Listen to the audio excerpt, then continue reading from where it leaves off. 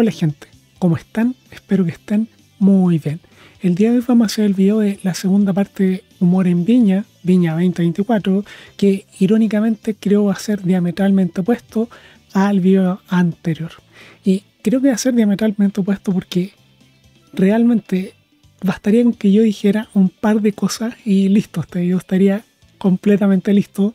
Pero los que me conocen ya sabrán que me gusta hablar mucho más eh, para esto elegí un juego igual de cartas porque me di cuenta que es bastante más cómodo porque no tengo que pensar mucho a medida que estoy jugando. Y bueno, em, elijamos a Bob Esponja. Y a ver, ¿por qué hago esto? Hago esto porque la verdad, como expliqué en el video anterior, y voy a hacer una recapitulación pequeña del video anterior, eh, creo que el humor también tiene harto que ver con cómo se dan los cambios en la sociedad, lo refleja bastante. Y los primeros dos días de humor en Viña me demostraron que hay cosas que están cambiando, me demostraron que hay tendencias que se están revirtiendo y también me demostraron que el tipo de humor eh, autorreferencial con tintes de progresismo no está funcionando como funcionaba antes, lo que realmente me hace bastante feliz. Ahora, un resumen corto del video anterior, pueden ir a ver el video anterior también y a ver, empecemos porque, bueno, el humor cambió porque hubo un cambio generacional. Eso lo tenemos más que claro. Esto cambió el paradigma de pasar de chistes cortos o de chistes largos, pero mayormente chistes, a lo que es stand-up comedy. El humor antes era humor de chistes, chistes contados, situaciones inventadas mayormente, y trataban de hilarlo de una forma relativamente continua, pero esto no quiere decir que hubieran sido situaciones de la vida del comediante, esto no quiere decir que hubieran sido situaciones que estuvieran todas unidas la una y a la otra, pero sino que trataban de mantener un hilo como una narrativa que tuviera sentido. Incluso habían comediantes que no hacían esto, simplemente contaban chistes. Y el humor ahora es prácticamente stand-up comedy, que es como no sé, alguien se para enfrente de ustedes, les cuenta su vida con tintes de humor. Y uno de esos dos humores funciona mejor que el otro a mi gusto, pero ya es un tema de preferencias, creo yo, cuando está bien aplicado, cuando esas dos disciplinas están bien aplicadas. ¿Por qué? Porque como dije en el video anterior, eh, humor de nicho, stand-up comedy de nicho, no funciona. O funciona solamente con su nicho. Esto fue demostrado en las dos primeras noches del Festival de Viña, pero mayormente en la segunda, que tengo que hacer una acotación acá respecto a Javier Contador, porque Alison Mandela tenía claro el tipo de humor que hacía, pero Javier Contador yo no había visto la presentación del 2020, en la que prácticamente ocupó como plataforma el estallido social y el tema de la prueba y el rechazo. Y yo sé que mucha gente va a estar en desacuerdo conmigo acá, pero creo que esa fue solamente la razón por la que le fue bien en el Festival de Viña 2020, aunque sí tenía mejor ritmo, sí contó la situación un poco mejor, y bueno, ayudó bastante que el país estuviera en otro momento, porque en medio de un incendio no tiene sentido que esté hablando de que tus hijos vayan a Disney. Eso sé que lo dijo mucha gente, pero yo estoy completamente de acuerdo y por eso lo estoy recordando. Ahora, como dije, estos dos humoristas que se presentaron en el tercer, perdón, y cuarto día demuestran mi punto demuestran el punto de que el humor para funcionar tiene que ser más transversal, que el humor para funcionar tiene que tener un poco menos de político o si va a apuntar a la política tiene que ser para todos lados. Y debo decir que uno de los humoristas no cumplió mucho con eso, ya les voy a hablar de eso, pero de todas formas se salvó porque sí respetó las otras reglas del humor, que es tener timing, tener un material establecido y tener desplante, tener ángel para contar las cosas. Eh, técnicamente tomarlo con histrionismo y contar las cosas de una forma que sea divertida, porque yo no saco nada con tener el mejor chiste del mundo si lo cuento de una forma completamente aburrida, completamente monótona o de una forma tan exagerada que caiga mal. Y eso creo que es lo que le ocurrió en parte a las humoristas del primer y segundo día. Pero no así a los humoristas del tercer y cuarto día, y tengamos en cuenta también que, como les dije antes, eh, cambió bastante la coyuntura del país. O sea, el contexto país es muy distinto ahora y por lo mismo, humor que funcionaba hace un par de años atrás ya no funciona tan bien. por ejemplo, humor de puñito arriba, eh, bueno, dependiendo del tipo de puñito, ya van a entender a qué me refiero, eh, humor de, de, no sé, de, van, de, de estos pañuelos verdes, por decirlo de alguna forma, ya no funciona como antes y quedó completamente demostrado y estoy muy agradecido de eso. El humor feminista, el humor de mamá luchona y el humor de primera línea ya no funcionan ahora. Y eso a mi gusto es maravilloso. Ahora, como dije, estos dos humoristas prueban mi punto. Pero ¿a qué dos humoristas me refiero? Bueno, me refiero a Luis Slimming y Luis Miranda, que respectivamente estuvieron en la tercera y cuarta noche del festival. Voy a empezar por Luis Slimming, explicando un poco qué creo que funcionó de su rutina, qué no funcionó y por qué yo no me reí ni una puta vez. Pero aún así puedo reconocer que lo hizo bien y que hubo un sentido para lo que hizo y entiendo por qué mucha gente sí se rió con él. Primero empecemos con que Don Comedia, Luis Slimming, así se hace llamar Don Comedia, un poco presuntuoso de su parte creo yo, eh, no es precisamente un humorista que sea neutral políticamente hablando.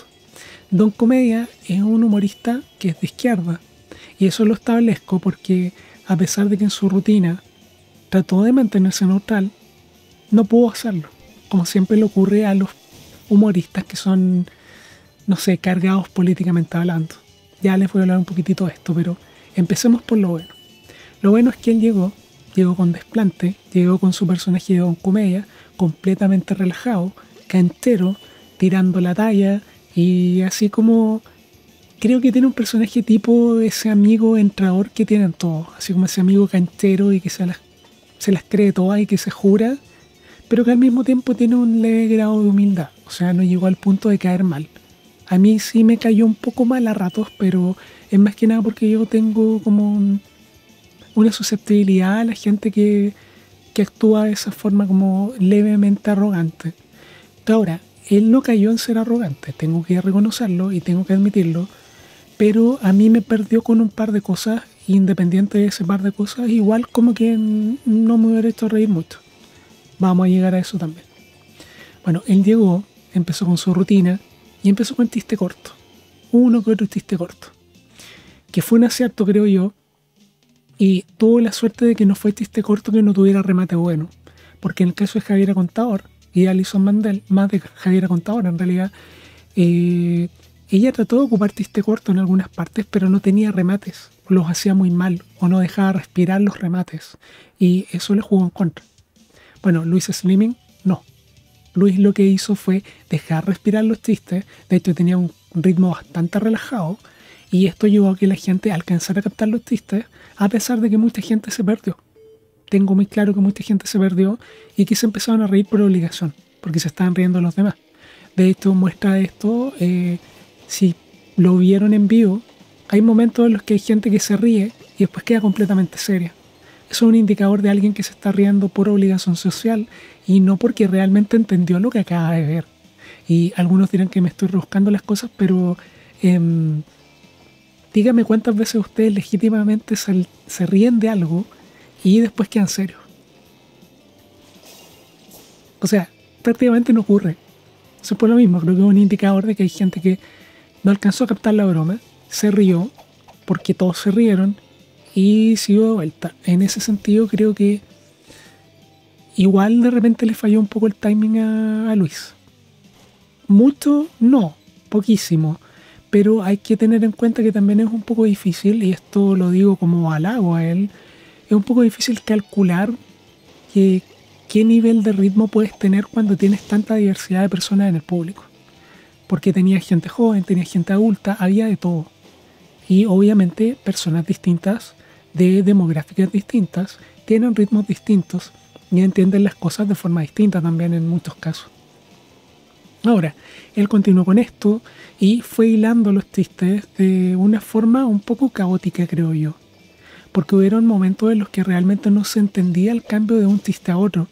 Porque había algo que los uniera, pero ese algo no siempre tenía sentido. Lo que para alguien que le gusta el absurdo es completamente válido. A mí me gusta el absurdo, tengo que decirlo.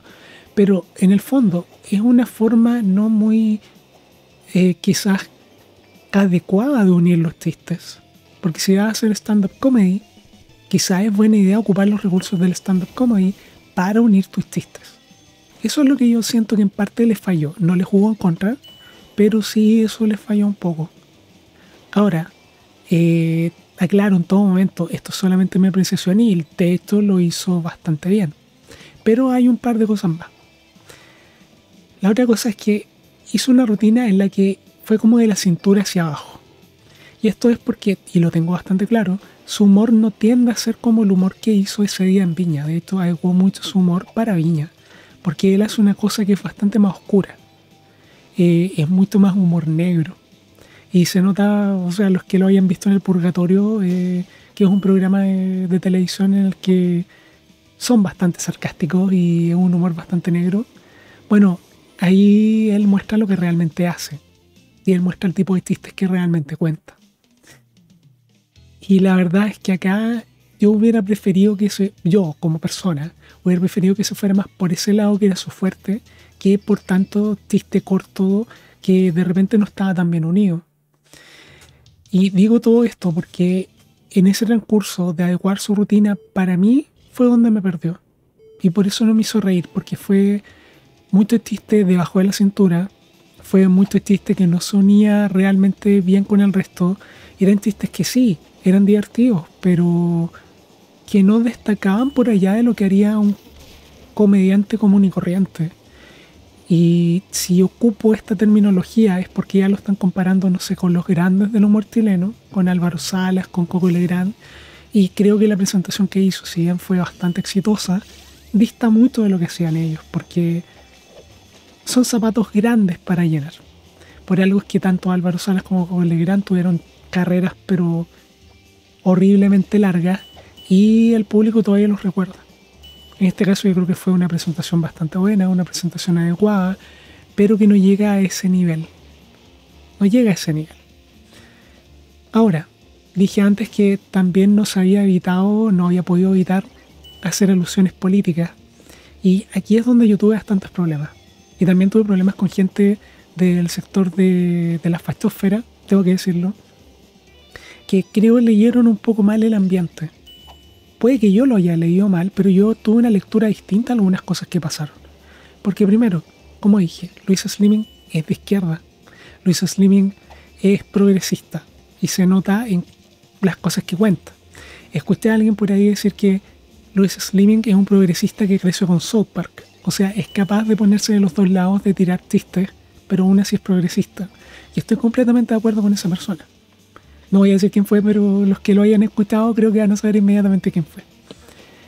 El asunto es que dos cosas de su... Bueno, sí, unas dos o tres cosas de su rutina me llamaron la atención. Primero fue la comparación de Chile con un viejo, con un anciano, que, que no sé, que tiene temblores y que particularmente es mañoso. Y en el es mañoso sacó el tema constitucional.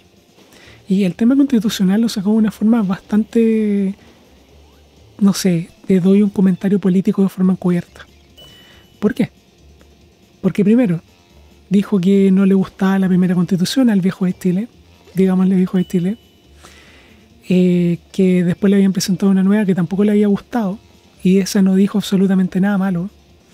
Eh, después dijo que le habían presentado una tercera, y esa la pintó con un poco más de negatividad. Nótese la tercera es la que presentó republicanos.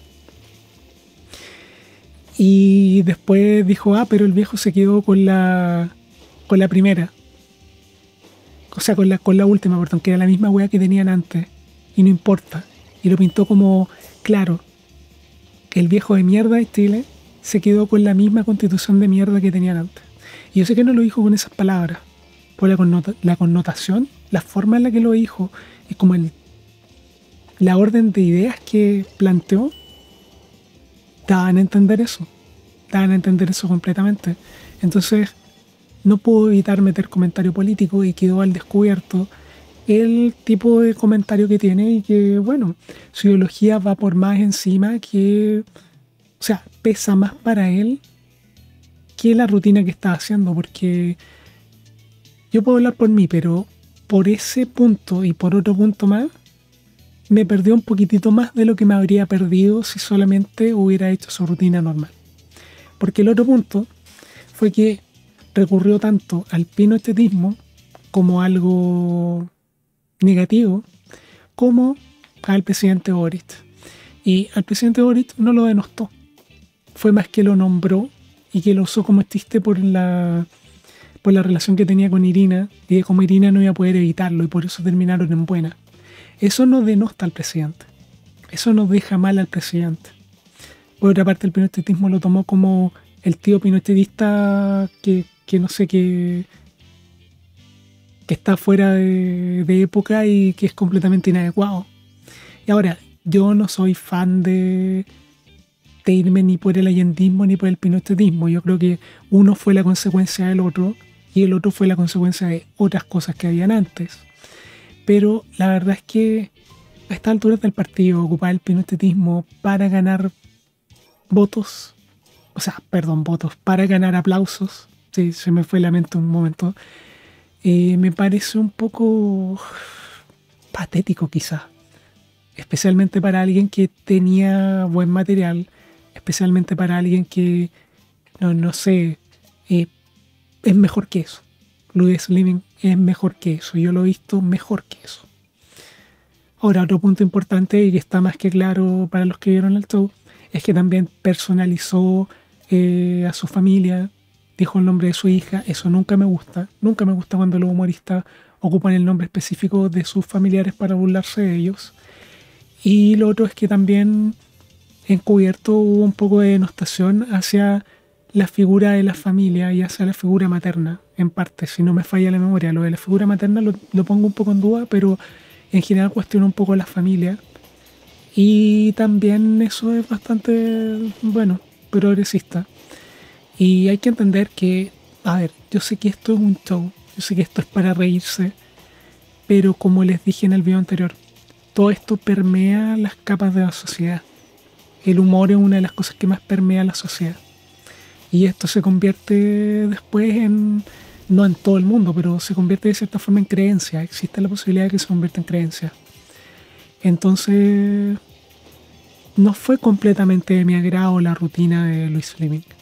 Pero aún así puedo reconocer que triunfó en Viña y que lo hizo bien y que cumplió con lo fundamental que debería cumplir un comediante, que es buen ritmo, contar chistes y tratar de apuntar chistes que lleguen a todos.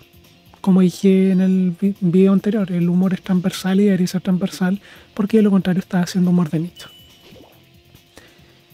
Y bueno, sé que, sé que me estoy complicando todo esto, pero es porque el siguiente humorista, el de la cuarta noche, sí que me complica hablar de él. Y me complica hablar de él porque, a ver, por un lado, tengo un conflicto de por qué la organización lo invitó. Pero por otro lado, tengo claro que se ganó el lugar que le brindaron. Porque debo ser completamente honesto. De los cuatro humoristas que han estado hasta la cuarta noche, creo que él ha sido el mejor. Y bajo sus propios méritos sí es cierto que ocupa algo muy específico para ganarse la simpatía de la gente. Pero aún así la capacidad de hacer lo que está haciendo ahí no es poca. O sea, a mí me, carga hablar de buenismo, me carga hablar de, de, no sé, de, de diferencia entre personas, de privilegios para ciertas personas por haber nacido con ciertos grados de, de discapacidad, que en este caso él tiene discapacidad. Nótese, me estoy dando el medio preámbulo para hablar de él por lo mismo, porque es un tema bastante delicado. Pero creo que él se ganó ese espacio. Y si no se lo había ganado antes, se lo ganó al estar ahí. Por la forma en la que lo hizo. Entonces tengo un poco de conflicto porque yo, sabiendo cómo es la televisión, sabiendo cómo son las figuras públicas, sabiendo cómo es todo esto del Festival de Viña y de cómo están actuando estos medios de comunicación que, bueno, son realmente serviles al progresismo, yo tengo claro que lo invitaron porque es discapacitado. Quizás porque hizo un par de presentaciones buenas en varias partes, pero él tiene poquísima experiencia. Él viene siendo comediante por lo que contó desde el estallido, o sea, desde el estallido, lo siento, desde eh, la pandemia pandemia, pandemia, como quieren llamarle, que es poquísimo tiempo, son solamente un par de años. Y que le hayan dado una oportunidad así de rápido es sospechoso, a mí me es sospechoso. Porque por lo menos Luis Liming estuvo detrás de cámaras todo el tiempo. Y ha estado en ese ambiente todo este tiempo, porque él antes era guionista. Era guionista de un montón de humoristas. Entonces tenía currículum para decir, ah, quizás él no tiene tanta experiencia en los escenarios, que en realidad sí la tiene. Pero ha sido guionista de todo esto y le ha ido bien varias veces, entonces tenemos por dónde invitarlo. En cambio, a Lucho Miranda, que es el humorista del que voy a hablar ahora, eh, ha tenido presentaciones desde la pandemia, pasado la pandemia en realidad, se hizo conocido en redes sociales y no tiene mayores antecedentes. Entonces que lo hayan invitado a mí me... Sé que no tengo pruebas, pero no tengo muchas dudas en realidad. Que fue simplemente la carta del festival como, ah, pero es que tenemos que poner a alguien que tenga algún grado de discapacidad por los puntos progresistas. Como le dicen brownie points. Y esto, yo estaba comentando esto en el stream que estaba haciendo de Arkham Asylum, que lo pueden encontrar en el canal igual. Y fui bastante eh, quizás pesado con la forma de hablar de, de Lucho Miranda. Y honestamente yo no tenía idea que era discapacitado. Yo realmente, él tiró, la, él en algún momento la broma de que todos pensaban que estaba curado. Y yo realmente lo había visto en la mañana en el matinal y pensé que realmente estaba con resaca. Yo no tenía idea que era una persona que tenía una discapacidad eh, a nivel cerebral. Me acuerdo que la mencionó, pero no recuerdo exactamente cuál discapacidad es, así que no me quiero carrilar. Pero él tiene una discapacidad a nivel, a nivel neuronal. Entonces, sí, debo decir que fui bastante duro y quiero hacer esa aclaración para que no piensen que, que no sé, soy un, ser descorazonado un facho de mierda que ni siquiera escucha razones. Nótese, no digo facho de forma derogativa, porque, bueno, hay, hay niveles y niveles, hay niveles y niveles. Pero lo que voy es que de repente uno desconoce ciertas cosas y yo estoy admitiendo que desconocía la historia de esta persona y desconocía todo esto hasta que vi de nuevo la presentación, porque es un poco difícil escuchar una presentación cuando está jugando Arkham y cuando estaba hablando con gente del de tu stream. Bueno, el asunto es que, como dije antes, él creo que es la persona que mejor lo hizo hasta ahora, independiente de su discapacidad.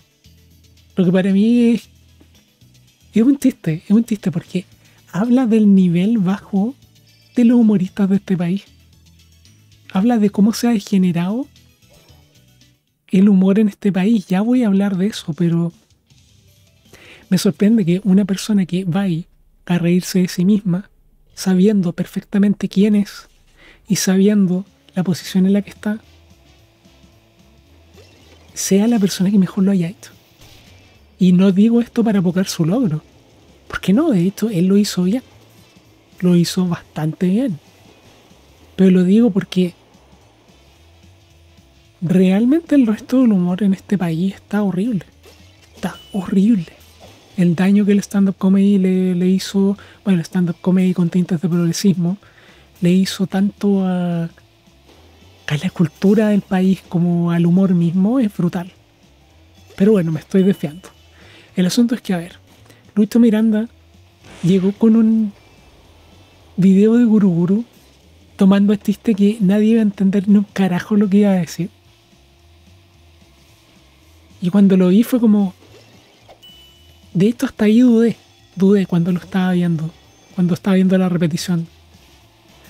Eh, que lo vi en el, en el, canal de una persona que se llama Guillema Tembar, Tobar, algo por el estilo. Lo digo porque creo que una española que reacciona a cosas de Chile es bastante simpática. Y era la persona que tenía justo en su stream esto antes de que lo, lo subiera el, el canal oficial de Viña. Así que, no sé, publicidad para ella. y el asunto es que Cayo, yo dije, esta persona va a jugarse todos sus puntos de sus victipuntos para salvarse de un desastre. Y qué manera de equivocarme. Yo puedo reconocer cuando me equivoco porque él realmente es un show que es un show que debería ser todo humorista. En el caso de él, claro, él está blindado frente a esto. Eso hay que decirlo con todas sus letras. Por él tener esa discapacidad, está blindado frente a las discapacidades. Él puede hacer chistes de discapacitados sin que le digan nada, porque la gente, por un lado, se sorprende de que un discapacitado esté tirando chistes de discapacitados, y por otro lado, tienen más empatía con él porque es discapacitado. Cosa que debo decir, y voy a repetir eso porque me tapé la mano y probablemente no se escuchó, cosa que debo decir, es lo que menos quiere él, de acuerdo a lo que dijo, y tengo claro que es lo que menos quiere la gente que tiene discapacidad. Porque si yo he trabajado con gente con discapacidad y de hecho son los primeros en reírse de ellos mismos. ¿Se frustran por tener lo que tienen? Sí. Pero son los primeros en reírse de ellos mismos. En general la sociedad la que se vuelve completamente, no sé, es grave cuando se habla de estas cosas. Y por eso es que también creo que él fue bastante valiente para pararse de esa forma. Porque creo que, bueno, era obvio que mucha gente, incluido yo, íbamos a pensar que estaba jugando la tarjeta de discapacidad para que le fuera bien. Pero bueno, él empezó su rutina. Fue una rutina en la que realmente se burló completamente del mismo, pero también se burló del resto. Mayormente se burló del mismo, pero también se burló mucho del resto y de cómo el resto toma su discapacidad. Que para mí es realmente refrescante porque en el fondo, los humoristas deberían ser capaces de reírse de todo. Pero reírse con respeto, reírse con la gente. Y eso es lo que hizo él, y esto lo dijo en su rutina. Dijo, eh, está mal que ustedes se rían de alguien sin su permiso, pero si nos reímos todos juntos, es distinto. Que si lo pienso un poco se puede malentender como, como yo me puedo reír de mi discapacidad con usted, pero los demás humoristas no pueden. Tengo claro que eso no es a lo que iba eso no es el punto que está haciendo. Porque la verdad lo poco que pude ver de él se veía como una persona sincera, ligera de sangre y que estaba ahí sinceramente emocionado por estar en este lugar. Y la verdad es que, bueno, siguió con su rutina, tiró bastantes chistes inadecuados de debajo del cinturón, pero fueron contados. Y la mayoría de los chistes eran humor negro, humor eh, sarcástico, humor eh, que se burlaba de la discapacidad que él tiene y de cierta forma, como dije antes, de cómo la gente lo maneja. Y creo que su parte fue un gran acierto. Me gustaría verlo haciendo otro tipo de material, material quizás un poco más, más transversal. Probablemente sí, pero en este caso la hizo de oro. Porque sí, el problema de, de este humor, y tengo que decirlo, es que eventualmente, después de que la gente escuche no sé, a, este humorista hacer este tipo de humor una y otra vez, va a perder la novedad. Por lo mismo espero que eventualmente, no he visto el, resto de su tipo de, qué tipo de rutinas hace, pero si solamente hace rutinas centradas en su discapacidad, eh, probablemente le pueda ser contraproducente en el futuro, porque la gente tiende a, tiende a divertirse con la novedad tiende a divertirse con este tipo de cosas de primera, pero tienes que ir cambiando las rutinas. Y si él siempre hablara de discapacidad y no de mucho más, probablemente sería aburrido y la gente empezaría no a irse en contra de él. Obviamente no lo van a hacer, pero quizás no encontrarlo tan divertido. Pero al menos para esta ocasión, creo que lo hizo excelente. De nuevo, el mejor humorista de Viña. Y que también comprueba otros de mis puntos porque una, tuvo ritmo para contar las cosas a pesar de su discapacidad.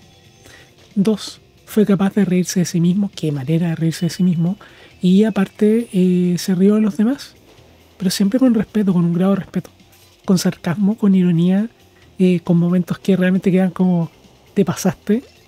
Sí, pero siempre con un grado de respeto, y eso se notó en cualquier momento. Y lo otro es que, bueno, se mostró como un personaje agradecido, como un personaje humilde, como un personaje que, que bueno, que a pesar de que igual le dieron una oportunidad que pocos tienen, y como dije antes, estoy seguro que en parte se la dieron por su condición, de todas formas estaba muy agradecido. Y no lo ocupó solamente para ganar plata y para, para, no sé, para hacer su show, sino que también lo usó para dar un mensaje de oye, no tienen por qué vernos como pobrecitos y, oye, ustedes también se pueden reír de esto y podemos reírnos todos juntos. Y la gente con discapacidad, eh, voy a decirlo como si lo estuviera diciendo él, yo digo eso porque no quiero arrogarme su discurso, pero dijo, no queremos que nos vean como víctimas. Y ese es un mensaje que realmente agradezco, tanto desde el punto de vista del humor como desde el punto de vista de cómo se maneja la sociedad, porque y él lo dijo, la verdadera inclusión, no me acuerdo si fue Pancho Savero o si fue él, pues la verdadera inclusión es tratar a la gente como iguales. Y nivelar si necesitan algún tipo de ayuda especial, pero no tratarlos como si fueran enfermos, no tratarlos como si fueran, como si tuvieran menos capacidades, sino que simplemente asistirlos en lo que es necesario y sería. Porque el ser humano, tenga o no tenga discapacidad, tiene que sentir valía. Se tiene que sentirse valioso. Y el esforzarse por algo te hace sentir valioso. Entonces, bueno, tengo, y tengo que decirlo, hasta el momento es el único humorista que me hizo reír. Me hizo reír a carcajadas y todo. No, porque igual tenía el conflicto de, no sé, sospecho por qué lo pusieron ahí y al mismo tiempo habían algunas de sus bromas que, que bueno, no me eran chistosas. A nivel cognitivo entiendo, sí, esto es chistoso, pero a nivel de risa no me hace reír. Ese es el problema, y es algo que debería haber mencionado en el primer video.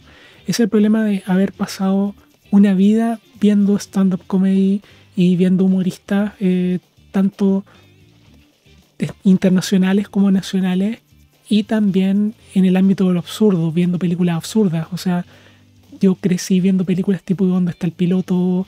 Eh, ¿Dónde está el policía? Eh, Ace Ventura, bueno, todas las películas de Jim Carrey en realidad. Crecí con todo eso. Crecí con Leslie Nielsen, eh, Charlie Teen, eh, como dije, Jim Carrey, Eddie Murphy. Y antes el humor era muy distinto. Y llega, un momento, llega el momento en el que tú has visto tanto humor que después son pocas las cosas que te hacen reír. Es que yo puedo reconocer cuando algo me da risa y cuando algo debería darme risa, pero no me da risa porque ya estoy sobreexpuesto. Es más o menos como lo que pasa con el terror. La gente que ve muchas películas de terror después no se sorprende con nada. Bueno, es como lo mismo. Y yo acabo de decir, a mi gusto, él ha sido el que mejor lo ha hecho a nivel de humor. Con discapacidad y todo, creo que ha sido el que mejor lo ha hecho porque no tuvo que recurrir a artimañas y lo mejor para mí, no hizo ni un puto chiste político. No tiró ni un maldito chiste de ideología. Quizás se podría considerar ideología al hablar de discapacidad si lo viéramos desde el punto de vista del progresismo. Pero por la forma en la que él lo, no sé, lo enfrentó, me queda claro que no. No lo hizo desde el punto de vista del progresismo. Por lo mismo, no me puedo quejar. Es como me da lata el motivo por el que lo pusieron ahí, probablemente, porque. Bueno, es que yo soy desconfiado, seamos sinceros. Yo, yo soy desconfiado y cuando tengo la razón para creer que pusieron a alguien ahí por motivos progresistas o por motivos de agenda, es lo primero que voy a pensar y me va a costar un poco no quedarme en esas, con esa sensación. Pero la verdad es que no, no puedo echarle la culpa a él, por eso. Porque él lo hizo bien le dieron una oportunidad que como dije antes pocos tienen, la tomó y la hizo de oro, la hizo realmente de oro. Ahora, creo que sí, nunca más voy a poder escuchar la canción eh, esta de, Diego Torres de pintarse la cara a color esperanza de la misma forma. Eh, si vieron la rutina van a entender por qué. Qué estupidez más grande. Eh, pero sí, él lo hizo bastante bien. Ahora, es un maestro de la comedia y que, no sé, eh, vaya a quedar en, los anales de la historia con grandes como el Coco Legrano, no, no sé, Álvaro Sala, George Carlin. Sí, me, gusta George Carlin, lo siento. Eh, o no sé, o Sandy o cosas por el estilo. Eh, la verdad es que no. La verdad es que no pero lo hizo bastante bien y creo que puede tener una carrera bastante buena si es inteligente respecto a cómo lleva su carrera. No quedarse encasillado solamente en los chistes de su discapacidad y tratar de ver material un poco más allá. Si es así lo mezcla con los chistes de su discapacidad, yo creo que por varios años podría ser un súper buen humorista en este país, podría ser una carrera que le va a asegurar la vida, le va a asegurar la vida, la verdad. Ahora, algo que se me quedó antes de Luis Liming, que antes de pasar a como la conclusión de todo esto, es que estaba hablando del progresismo. Y sí, se me, se me había olvidado decir esto. Y dentro de las cosas que él hizo, y qué bueno que lo dije en la parte de Luis Miranda, porque también está un poco relacionado, eh, Luis Fleming también se rió de una discapacidad en particular. Se rió de dos, de dos discapacidades en particular. Y una creo que fue de buen gusto, en el sentido de que todos nos reímos. Bueno, yo no me reí, pero en realidad entiendo por qué todos se rieron y fue como, sí, buen chiste. Eh, y con la otra, mucha gente se rió. Y a mí me molestó, la verdad porque le vi una doble lectura y eso me recuerda a otro punto que tengo que tratar después, qué bueno. Pero bueno, la lectura que leí, estoy hablando de cuando se burló de... Primero, vamos por partes, lo siento, me distraje con el juego. A ver, primero, lo que hizo bien, la broma buena que hizo de discapacitado fue la del baño, la del baño discapacitado. Bien jugado. Porque se burló de un elemento y hizo la ironía de que los discapacitados son privilegiados por tener un baño más bonito y especial. O sea, qué weón más desgraciado, pero esa ironía, primero no le está faltando realmente al respeto a los discapacitados. Eh, y segundo, bueno, igual está siendo bien desgraciado con ellos, hay que decirlo. Pero no lo está individualizando, lo está haciendo de manera general. Y tampoco eh, está haciendo nada tan terrible. O sea, es como la delgada línea entre la cagaste y hiciste una buena broma.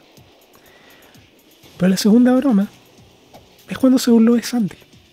Sandy, que es un humorista, no recuerdo qué nacionalidad, pero que él contaba chistes eh, súper blancos, chistes súper súper suavecitos. Era como chistes para niños, pero de repente tiraba unos chistes que eran medio era como humor negro, pero para todo público, una cosa así. Esto, los, los chistes de tartamudo y gangosos de Sandy eh, son como legendarios a esta altura. Eh, creo que los mencioné igual, los, chistes de la jañaña. Y básicamente eh, aquí hubieron dos cosas que hizo Slim que me molestaron. Una tiró el chiste de que cada vez que Sandy se presentaba al festival tenía una parte menos de su cuerpo. Y con eso parece que era más chistoso, que le sacaban un apéndice cada vez que le sacaban un apéndice era más chistoso, que venía como, como ultra recargado porque le habían sacado un apéndice. Y yo creo que hay límites y límites para el humor negro. Em, y eso como que está justo en el límite de lo que me da risa, especialmente considerando que, que bueno, a mí me agrada Sandy. Y a Sandy, le, si no me falla la memoria, le cortaban apéndices porque tenía, tenía diabetes, si no me falló la memoria. Por eso es que a poco le fueron cortando distintos apéndices de su cuerpo. Si estoy equivocado en la enfermedad, eh, lo siento, pero el tema es que él cada vez que se, presentaba en Viña estaba cada vez peor. Esto, si no me falla la memoria, en una llegó con silla de ruedas. Y me pareció un poco de mal gusto, pero me pareció de mal gusto no solamente porque fue eso lo que dijo, sino que porque también dio a entender de que su humor ya estaba como pasado de moda, como que ya era como retrógrada. Porque era como el humor de, de la abuelita, como que era un humor que ya no se podía hacer o algo por el estilo. Pero en cambio él también hizo un montón de chistes que no son políticamente correctos. Em, y al mismo tiempo metió política entre medio. Y eso es lo que usualmente es el progresismo, que es como está malo cuando ellos lo hacen, pero cuando yo lo hago está perfectamente bien. Por lo mismo me cayó bastante mal eso, que es diametralmente opuesto a cómo Luto Miranda hizo bromas de los discapacitados. Porque él se está riendo del mismo. Por lo mismo tiene la capacidad de... O sea, si se está burlando de sí mismo es distinto, en parte. Y lo otro es que no había ese trasfondo ideológico de fondo. Trasfondo ideológico de fondo. No te sé la redundancia, pero entiende a lo que me refiero. No había otra intención de fondo. Más que hacer reír con el chiste sarcástico de, de no sé, por ejemplo, de que llegó un discapacitado a su clase que era más discapacitado que él. Entonces le quitó el puesto de discapacitado. entonces, eso va un poco a lo que yo decía en el video anterior que la ideología y la política tienden a matar los chistes, tienden a matar las bromas y todo debería ser más transversal. Y bueno, yo también tengo que ser sincero, si a mí me molesta cuando los humoristas progresistas son así de doble Y aún así puedo reconocer, ahí está la diferencia también, aún así puedo reconocer que el Louis Slimming lo hizo bien. Pero como que no puedo evitar darse esos gustitos progresistas entre medio. Lo que hace que le tenga un poquitito menos de respeto que obviamente le importa un carajo quién soy yo, yo soy un imbécil con un VTuber en YouTube. Pero eso no quiere decir que no voy a opinar al respecto. Así que bueno, conclusiones. Bueno, creo que queda claro que la conclusión número uno es que los hombres son mucho mejores en stand-up comedy y en el humor que las mujeres. no, mentira. Estoy molestando, estoy molestando. No, no me vengan a cancelar, por favor. No. Queda claro que no es lo importante el sexo del comediante, no es lo importante la condición del comediante, lo importante es cómo se desenvuelve, lo importante es el ritmo, lo importante es el guion, lo importante es el carácter, el histrionismo, la forma en la que maneja el público, los tiempos. De repente ni siquiera es tan importante el material. Lo más importante en el humor, al menos para el común de la gente, para mí no, por, y para mucha gente tampoco, obviamente, no, no es que yo sea un ser superior ni nada por el estilo, pero lo que dije antes, cuando uno escucha suficiente humor, eh, uno se empieza a fijar en otras cosas. Eh, pero a mucha gente le importa mucho más la forma que el fondo referente humor, y es la mayoría. Y en el sentido de, lo que es humor, creo que no está tan mal. Pues si fuera en, en no sé, en cualquier otra cosa, en activismo, en política, en educación, en lo que quieran, me, me preocuparía un poco más. Pero cuando se trata de humor y olvidarse del mundo un rato, no me preocupa tanto, a no ser que esté siendo ocupado para ideología. O sea, para ideologizar a la gente, perdón, para adoctrinar a la gente. Que lamentablemente el humor lo han ocupado para eso, seamos sinceros. Eso es una discusión para otro momento, pero en este caso el punto es que es importante la forma, muy importante en el humor. Y las primeras dos humoristas en Viña no cuidaron tanto la forma y tampoco iban con un fondo que fuera maravilloso, porque era un fondo que realmente está un poco más anticuado. ¿Qué tan anticuado? No lo sé. No lo sé, porque ya les voy a dar otra conclusión más que no tiene nada que ver con esto. Pero creo que a pesar de que podría decir que el progresismo perdió un poquitito en este festival, todavía no ha perdido por completo. Bueno, otra conclusión es que, bueno, para los humoristas, y esto en realidad es como, no, no, no sé qué tan importante es decirlo, pero queda claro que es muy importante leer el contexto del país, el contexto del lugar en el que te encuentras. ¿Por qué? Porque las cosas cambian. Porque el clima político cambia. Incluso el, clima a nivel país, no político, sino que cultural, también cambia. Por ende, se explica que Javier Contador le haya ido también en el 2020, con su pañuelito verde y hablando de, la constitución. Y que ahora no. Ahora no le fue tan bien. Le, le fue pésimo, la verdad. Y Alison Mandela, la verdad, se salvó porque no, no exageró tanto en ese tema. De hecho, tuvo bastante cuidado en ese tema. Y además porque centró su rutina más en volarse en su marido. Aunque igual habían algunos tintes de feminismo por ahí, pero no es como que se iban a ir en contra de ella considerando que la mayoría del público seguía eran mujeres. Fue más inteligente. Pero eso no quita que hay que saber leer el ambiente y saber leer el contexto país.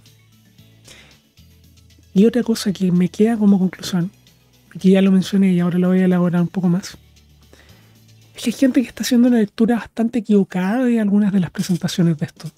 Y no es que yo me las sepa todas, aquí te las traigo Peter, sino que de repente creo que hay gente que por ser de un sector determinado eh, se cierra en leer las cosas desde ese sector. Porque la presentación de Louis Slimming, hay gente que la leyó como que eh, está, no, sé, eh, muy mal porque abustearon cuando Slimming mencionó a Boris y que se está aceptando mal el pinochetismo porque no se dijo nada y se, quedaron todos relativamente callados cuando eh, Slimming hizo un chiste del pinochetismo. Y hay que aclarar algo acá. Aquí pueden pasar varias cosas. Porque primero, cuando Slimming se refirió al pinochetismo, lo hizo de forma derogativa. Lo hizo de forma negativa. Entonces, si la gente está en contra de Pinochet y alguien se refiere a Pinochet de forma derogativa, ¿por qué van a pifear? ¿Por qué van a buchear? Obviamente no lo van a hacer. Probablemente tampoco está el ambiente como para ponerse a aplaudir eso porque fue por un momento súper corto. Y tampoco fue un comentario como para que fuera a aplaudir la gente. Entonces a mí me queda claro, no hay que cantar victoria los que están diciendo como, no, pero es que el gobierno está muerto y, el pinotetismo está volviendo. La pelota, el pinotetismo no está volviendo. A lo mejor era un sector de gente, sí, pero leer ese momento del festival como que el pinotetismo está volviendo, o sea, chiquillos aprendan a analizar un poco más las cosas porque el pinotetismo fue mencionado en un par de frases y sería y de forma derogativa es como que yo diga, eh, no sé, eh, la palta es lo más malo que he probado. Y, o sea, alguien a quien no le gusta la palta no agustea. Eso significa muchas cosas, se puede leer de muchas formas. Dice que mi ejemplo fue horrible, fue asqueroso, pero solo las traí tanto en la mañana, así que mis ejemplos no son tan buenos, pero creo que se entiende. O sea, no hay que leer más donde probablemente no hay más. Y el otro punto, el tema de Boric. Y aquí me tomo una pausa porque puedo estar equivocado. En esto sí reconozco que puedo estar muy equivocado. Tengo un poco más de fe en mi lectura de lo del pinotetismo, pero el Boric puedo estar equivocado. Pero perfectamente pueden haber gustado a Slim. Slimming, perdón, me a decirle Slim porque se estaba metiendo con Boric. No porque mencionó a Boric y porque la gente lo aborrezca, sino que porque asumieron que iba a ser un chiste del presidente por el que votaron. Y eso hay que tenerlo bastante claro porque, o sea, es Viña del Mar. Es un lugar donde sacan de alcalde, del, perdón, de alcaldesa a Ripamonte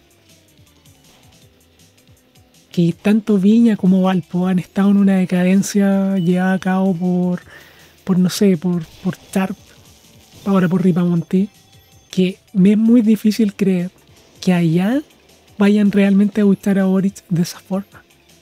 Me es mucho más fácil creer que estaban gustando Slimming porque se iba a meter con el presidente. Puedo estar equivocado, puedo estar equivocado.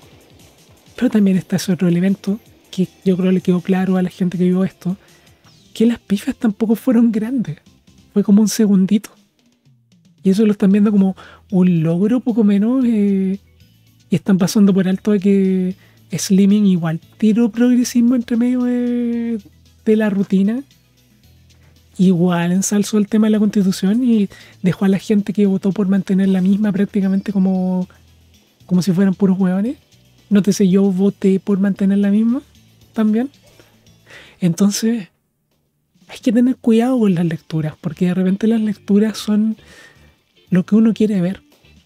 Y no, no funciona así. Las lecturas son ver la situación, analizarla desde todos los puntos de vista posibles y tomar el que sea más racional, lógico o el que sea más probable, porque a veces lo racional y lo lógico no funciona mucho. Y acá creo que la lectura está siendo errónea. Así que bueno, para ir finalizando, tengo que decir fue agradable el día 3 y día 4. me fue bastante más agradable. Y como dije antes, eh, creo que, que, no sé, que el humor progresista está siendo completamente derrotado. No. Pero creo que hay un poquitito de vuelta a que se puedan contar cosas un poco menos políticamente correctas. Pero tengo mis dudas de cuánto tiempo va a durar, porque al mismo tiempo los humoristas están tratando de llevar adelante como una especie de salvo resguardo que es como, oye, no deberían pifiarnos hasta que terminemos la rutina, como hacen con la gente que no sé qué canta o que tiene banda y todo. De eso les voy a hablar un poco más en el último video, porque si voy a hacer una tercera parte probablemente, porque eso fue algo que dijo Sergio Freire y me parece que es una de las cosas menos acertadas que ha dicho Sergio Freire dentro de todas las cosas que ha dicho Sergio Freire, que la verdad no, no lo he escuchado mucho hablar públicamente, pero fue bastante desafortunado lo que dijo porque no tiene absolutamente ningún sentido. Yo más lo veo como ponerse parte antes de la herida, tanto para él como para sus compañeros humoristas. Pero bueno, eso fue este video. Eh, sé gente en desacuerdo conmigo. Eh, sé gente que encontró maravilloso Slimming. Yo como dije, reconozco que lo hizo relativamente bien. No me hizo reír. Sé que hay gente que no va a estar de acuerdo conmigo con que a Miranda lo pusieron ahí porque tiene una discapacidad. Repito, aunque haya sido por eso, él se ganó el puesto que le dieron, se ganó la oportunidad que le dieron. Quizás después de que se la dieron, pero de todas formas se la ganó. Y estoy realmente, me alegre que se haya sido. Pero tampoco voy a ser hipócrita y no decir lo que pienso al respecto. Y tampoco voy a ser hipócrita y hacer vista gorda eh, porque, o sea, porque él tiene discapacidad. De hecho, él mismo dijo que no lo hicieran y eso es lo que estoy haciendo aquí. Así que bueno, sin más que decir, hasta aquí queda este video. Pueden dejar sus comentarios abajo en la caja de comentarios. Pueden dejar también sugerencias de temas que quieren que hable acá. Eh, también de juegos que quieren que juegue, que juegue en stream. Sí, ya, ya se me está enredando la lengua de nuevo, lo siento. Y bueno, sin más que decir, y como no puedo ver porque me pusieron una mano enfrente del maldito cart, me despido. Espero que estén muy bien. Será hasta un próximo video o hasta un próximo stream. Adiós. Y sé que me van a cancelar por esto, pero tengo que decir, no puedo creer que vivimos en un multiverso donde Jimmy de South Park tiene un equivalente en el mundo real. ¡Jimmy! ¡Jimmy! ¡Leva! ¡Leva! ¡Jimmy! ¡Jimmy! ¡Leva! ¡Jimmy!